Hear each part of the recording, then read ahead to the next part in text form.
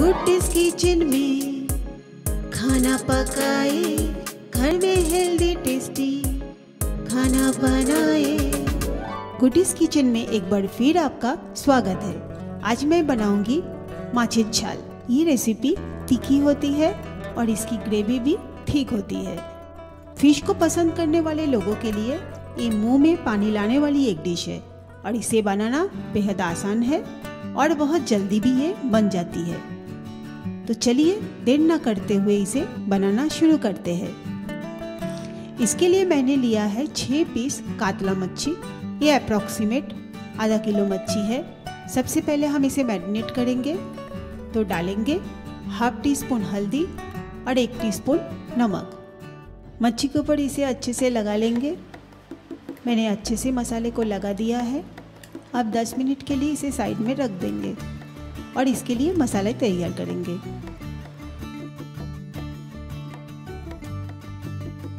मैंने दो medium size के टमाटर लिया है, दो हरी मिर्च लिया है और लिया है एक इंच का अदरक का टुकड़ा।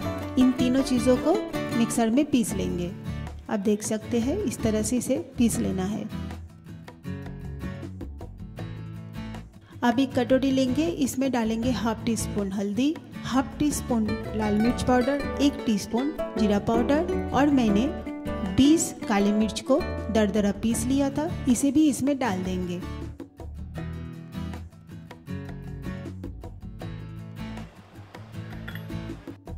अब इसमें थोड़ा पानी डाल के हम इसका एक मिश्रण बना लेंगे। मसाले में पानी डाल के घोल बनाने से पिसे हुए मसाले जैसा स्वाद आता है और मसाले जलते भी नहीं।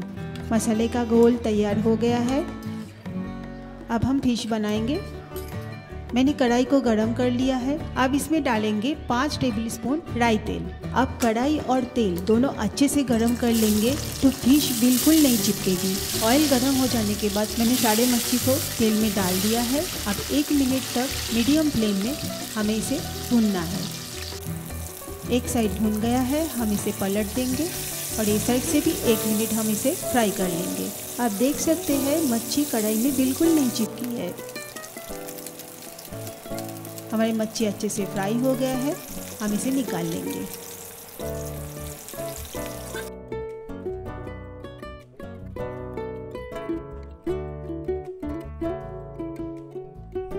अब इसी तेल में हम डालेंगे हाफ़ टी स्पून कलौंजी के दाने। एक 10 सेकंड तक इसे भून लेंगे। हमने जो टमाटर, अदरक और मिर्ची का पेस्ट बना के रखे थे, अब इसमें डाल देंगे। अब मीडियम फ्लेम में हमें इसे तब तक पकाना है, जब तक टमाटर अच्छे से पक ना जाए और इसमें से तेल न रिलीज़ हो जाए। तेल रिलीज़ हो जाने के बाद हम इसमें हमारा जो मसाले का मिश्रण बनाए थे, वो डाल देंगे। और उसमें डालेंगे वन फोर टी चीनी और हाफ़ टी स्पून नमक। अच्छे से मिक्स कर लेंगे। और मसाले अच्छे से भून जाए, इसके लिए इसे दो मिनट के लिए ढककर स्लो कुक करेंगे। दो मिनट हो गया है। आप देख सकते हैं मसाले बहुत अच्छे से भून गया है। साढ़े तेल इसमें से रिलीज़ हो गया है। अब इसमें डालेंगे वन फोर्थ कप पानी। इस रेसिपी की ग्रेवी ही बनती है, इसीलिए इसमें ज़्यादा पानी नहीं डालेंगे। एक बार अच्छे से मिक्स कर देंगे और इसमें उबाल आने देंगे। उबाल आ जाने के बाद हम इसमें फ्राई किया हुआ फ़िश डाल देंगे। एक बार पलट देंगे।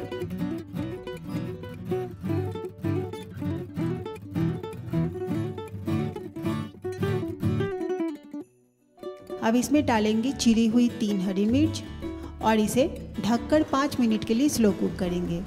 पाँच मिनट हो गया है। हमारा माचित झल ऑलमोस्ट रेडी है। एक बार हल्के हाथों से इसे मिक्स कर देंगे।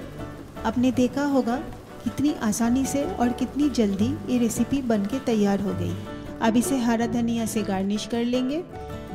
ये रेसिपी खाने में इतनी लाजवाब होती है, जब आप खुद बनाओगे, तब आपको पता चलेगा। आप गरम चावल रोटी के साथ इसका मज़ा ले सकते हैं। मुझे उम्मीद है ये रेसिपी आपको ज़रूर पसंद आएगी। अगर आपको ये रेसिपी पसंद आई तो लाइक करें और अपने दोस्तों के साथ शेयर करें। और मेरे चैनल को सब्सक्राइब करना ना भूलें। और बेल आइकन को ज़रूर दबाएँ ताकि मैं जब भी नई रेसिपी डालूं, वो आपको तुरंत मिले। अच्छा खाइए, स्वस्थ रहिए। फिर मिलूँगी ये नई रेसिपी के साथ। गुड किचन में।